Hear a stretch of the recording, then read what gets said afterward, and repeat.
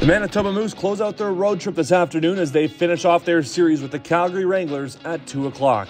Now, the last time the Moose were in action, they fell to Calgary 6 2. Danny Zhilkin and Brad Lambert both scored the goals for Manitoba.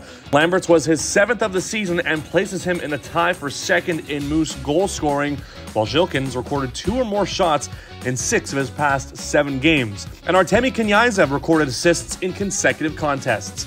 Now, for more on Moose defenseman Dmitry Kuzmin's debut, let's send it over to the Scotiabank Saddledome and Moose play by play announcer Daniel Fink.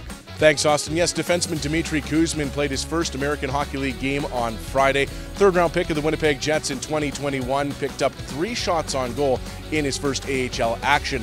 Prior to joining the Moose this season, he played 10 games with the affiliate of the Moose and Jets, the Norfolk Admirals in the ECHL, recording a goal and an assist. And before turning pro here in North America, Kuzmin picked up 59 points with the Flint Firebirds last season. So we'll see if he can bring some of that offensive spark here to the Moose in his second AHL game today. Thanks, Daniel. Hold the call for you today at 2 o'clock with the pregame show getting underway at 145. You can tune in at moosehockey.com slash listen live, cjob.com slash sports, or you can watch with a subscription to ahltv.com.